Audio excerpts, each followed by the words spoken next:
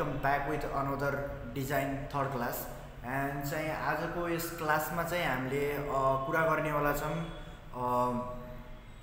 master in header design like header छोडेर titles design पनि भन्न सकिन्छ। टाइटल डिजाइन चाहिँ मोस्ट इम्पोर्टेन्ट छ डिजाइनमा किनभने चाहिँ तपाईँको चाहिँ मोस्ट अफ केसमा चाहिँ हेडरले नै म्यासेज प्रोभाइड गर्छ कि डिजाइनको जस फर इक्जाम्पल यदि हेडर तपाईँको यदि एट्र्याक्टिभ भएपछि त्यसले चाहिँ म्यासेज कम्प्लिटली दिन्छ क्या? एन्ड एउटा एक्सन पनि दिन्छ जस्ट लाइक फर इक्जाम्पल अब कन्टेन्ट छ भने चाहिँ त्यसमा टाइटल्स तपाईँले राम्रोसँग एट्र्याक्ट गरेर लेखाएपछि त्यहाँनिर कल टु एक्सन भन्ने चिज एउटा प्रोभाइड गर्छ कि जसले चाहिँ हाम्रो डिजाइनलाई एकदमै एट्र्याक्टिभ एन्ड एक्सनफुल बनाउँछ। एन्ड त्यसमा चाहिँ अरू अरू चिजहरू इलिमेन्ट जस्तै मैले फर्स्ट एन्ड सेकेन्ड क्लासमा बनाए सेप्स एन्ड कलर युज गरेपछि झन् एट्र्याक्ट हुन्छ। आज कुरा गर्नेवाला छौँ कि कसरी डि टाइटललाई डिजाइन गर्ने या फिर मास्टर इन टाइटल डिजाइन भन्ने टपिक्स कभर गर्दै गइरहेको छौँ। So without wasting time let's get to start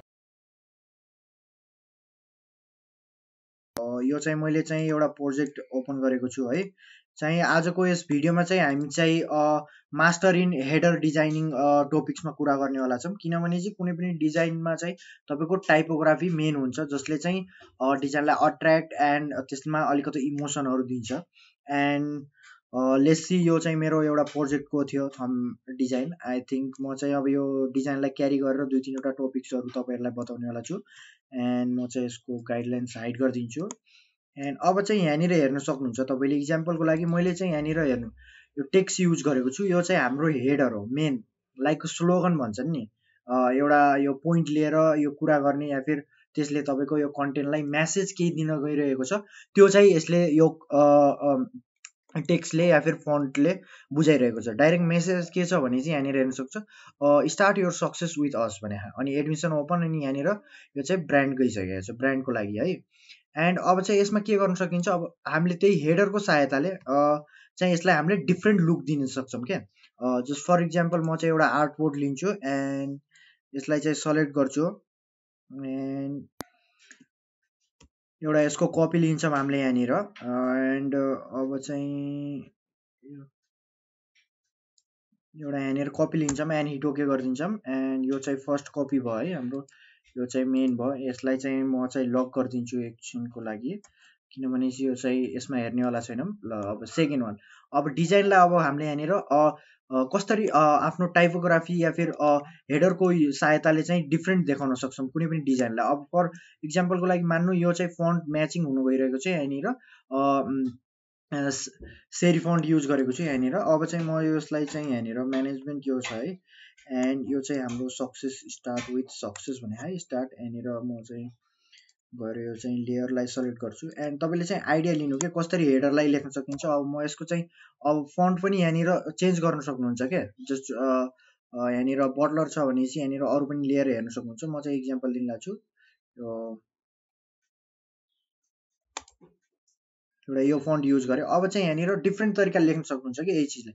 जस्तै स्टार्ट भने हा स्टार्टलाई तपाईँले अब यहाँनिर बोल्ड गरिदिनु सक्नुहुन्छ है बोल्ड एन्ड यहाँनिर हेर्न सक्नुहुन्छ बोल्डले हल्का यसलाई हाइलाइट गराउँछ एन्ड सक्सेस सक्सेस किनभने चाहिँ अलिकति यो फोकस दिने चिजहरूमा तपाईँले बोल्ड युज गरिदिनु क्या एन्ड द्याट्स इट अनि यसपछि त्यो यसमा अझै हाइलाइट गर्नको लागि टेक्स्टलाई या फिर टाइपोग्राफी युज गर्नलाई तपाईँले अलाइन्स गर्नु क्या जहिले नि अलाइन एन्ड स्पेसहरू हुन्छ नि यिनीहरूलाई ख्याल राखी गरेर राख्नु एन्ड यसलाई हल्का कन्ट्रोल होल्ड गरेर मैले चाहिँ यसलाई हल्का ब्यान्ड गरिदिएँ यसरी एन्ड यहाँनिर हेर्नु यसले चाहिँ हल्का हाम्रो डिजाइनलाई अझ डिफ्रेन्ट लुक दिन्छ क्या जस्तो कि एट्र्याक्ट बनाउनु जान्छ अब म्यासेज डाइरेक्टली पठाउन खोज्छ क्या एन्ड जस्तै यहाँनिर यो ओपन नाउ छ नि यो ओपन नाउ नभने नि तपाईँको यो चाहिँ यसले चाहिँ फोर्स गर्छ कि यो कन्टेन्टले चाहिँ यो म्यासेज दिन गइरहेको छ भन्नाले कलेजलाई प्रमोट गर्न गइरहेको छ भन्ने थाहा हुन्छ कि।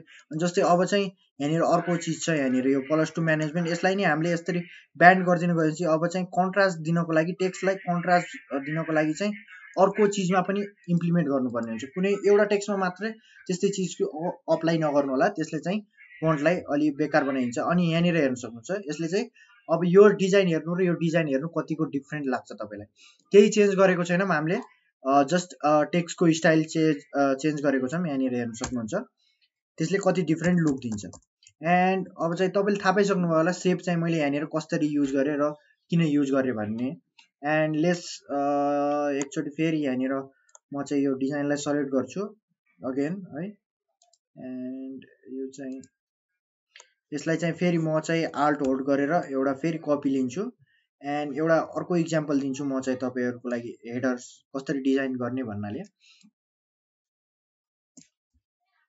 सेम हेर्नु यहाँनिर। अब तपाईँलाई आइडिया छैन भने चाहिँ कसरी क्रिएटिभ हेडिङ्स या लाइन्स लेख्ने भनेर या फिर कन्टेन्ट लेख्ने भनेर तपाईँ सिधा जानु जहिले नि सकेसम्म ब्रान्डको जुन टेक्स हुन्छ नि एउटा ब्रान्डको टेक्स हुन्छ क्या तपाईँको। जस्तै यहाँनिर हेर्नु यो टेक्स हो ब्रान्ड हो। यो चाहिँ लोगो नै हो। त्यो लेख्न सक्नुहुन्छ या फिर यहाँनिर हेर्न सक्नुहुन्छ। जुन सेन्स नभएको युज भएको छ या फिर सेरी फन्ट युज भएको छ या फिर आर्टिस्टिक फन्ट युज भएको छ त्यसमा ध्यान दिनु होला। एन्ड त्योदेखि तपाईँले इम्प्रिज भन्नाले यो चाहिँ डिजाइन्सहरू तपाईँले को टाइपोग्राफी इम्प्लिमेन्ट गर्न सक्नुहुन्छ। एन्ड लेस सपोज मानौँ कि यसलाई चाहिँ अब यहाँनिर चाहिँ हामी मानौँ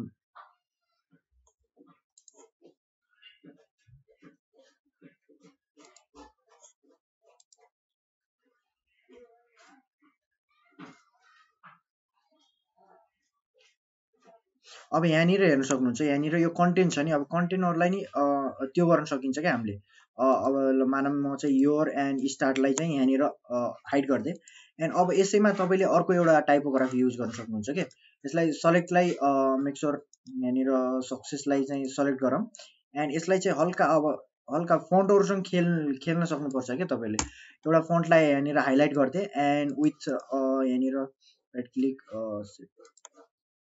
राइट अब यहाँ चाहिँ यहाँनिर हेर्न सक्नुहुन्छ यसले चाहिँ सक्सेसले चाहिँ अलिकति फोकस दिन्छ कि के म्यासेज के दिन खोजिरहेको छ कि? तपाईँले चेन्ज गर्नुपर्ने केही छैन। अब यहाँनिर हेर्नु अब तिनटै डिजाइनलाई एक ठाउँमा राखेर हेर्नु अब चाहिँ हेर्नु कुनले चाहिँ चाँडै म्यासेज पठाउन खोजिरहेको छ हेर्नु सक्नुहुन्छ। आई थिङ्क थर्ड वान इमेजले चाहिँ हाम्रो यो डिजाइनले चाहिँ यो चाहिँ म्यासेजलाई क्लियरली बताउन खोज्न गइरहेको छ। त्यही भएर हेडर चाहिँ मोस्ट इम्पोर्टेन्ट हुन्छ जुन डिजाइन हुन्छ नि डिजाइनमा एक्सन एन्ड त्यसमा म्यासेज पुऱ्याउन चाहिँ टाइपोग्राफीको बेस्ट रोल हुन्छ। त्यसैले तपाईँले हेडर डिजाइनिङको लागि तपाईँले अलिकति प्र्याक्टिस गर्नु होला हेडिङ्स अब कसरी हेडर्सलाई कसरी लेख्नु त अब? तपाईँले एउटै फन्ट लिनु एन्ड म भन्छु कि जहिले नि टाइपोग्राफी युज गर्दाखेरि एउटै फन्टको फ्यामिली युज गर्नु। जस्तै म चाहिँ यहाँनिर देखाइदिन्छु टी प्रेस गरेँ। यहाँनिर हेर्नु यदि कबिन छ भने चाहिँ कबिनको पनि यहाँनिर हेर्नु। मैले फ्यामिली नै युज गरेको छु हेर्नु।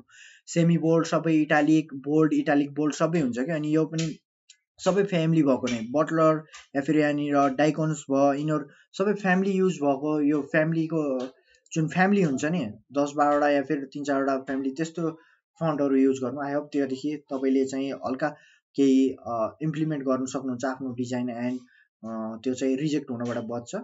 एन्ड आई होप हजुरलाई यो सानो भिडियो राम्रो लागेको होला। राम्रो लागेको छ भने चाहिँ भिडियोलाई लाइक एन्ड सेयर सब्सक्राइब गरिदिनु। एन्ड टाइपोग्राफीको लागि तपाईँले चाहिँ टेक्स्टहरू लेखेर त्यसलाई कसरी हुन्छ? या फिर टेक्स्ट ठुलो गरेर हुन्छ या family you family font use गरेर हुन्छ? बोल्डहरू यिनीहरू चाहिँ तपाईँले प्र्याक्टिस गरिराख्नु होला त्यसले चाहिँ इम्प्लिमेन्ट गरिरहन्छ। एन्ड तपाईँले मेरो च्यानललाई सब्सक्राइब गर्नु छैन भने चाहिँ सब्सक्राइब गर्नु होला। किनभने चाहिँ अहिले मैले त्यहाँ चाहिँ सर्ट्स भिडियोमा तपाईँहरूलाई टाइपोग्राफीको टिप्स दिइरहेको छु। टिप्स भन्नाले पनि टटोरियल्स आइरहेको छ जसमा चाहिँ मैले चाहिँ यस्तै टेक्स्टहरूलाई कसरी लेख्ने टेक्स्टहरूलाई यहाँनिर हामीले कसरी टाइपोग्राफी इम्प्लिमेन्ट गर्छौँ भन्ने त्यहाँ सिक्न गइरहेको छौँ।